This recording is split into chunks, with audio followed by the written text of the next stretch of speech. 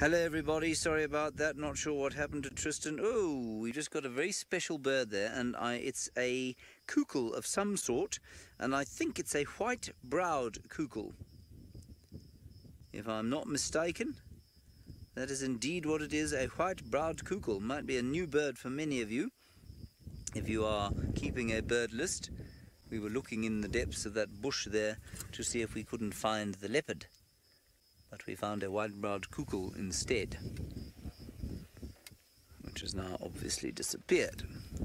So we'll keep looking around here. We haven't got very far from where we were. The tree's just behind us there. So let's drive around here uh, together and see if we can't spot what is going on. We're not going to spend too much time here because I think that if this leopard doesn't want to show itself, it won't. You know how easy they find it to hide if they wish to.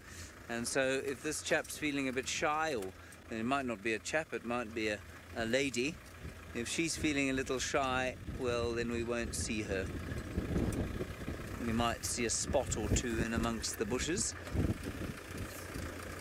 I've only seen one leopard up in a tree. Uh, this is the second wildebeest carcass I've seen strung from a tree, but this one is fresh. And Karen, you say that is a new bird for you. I'm very pleased that we've managed to find you a new bird, the white-browed coucal. Now, I would imagine that if she is around here, or he, can be round about inside these bushes here but could so easily hide from us. Well, John, you said your leopards and the Mara tend to hang out near the river. Well, the river, if Viam Pan's down there, is probably, what, about a kilometre and a half away, about a mile, at least, actually, as the vulture flies. So, not necessarily. I imagine you'll find that closer to the river and closer to the mountains, their territories will be that much smaller. And in these sorts of areas, when the wildebeest aren't around, of course, food not very plentiful, I think you'll find that the territories will be that much bigger.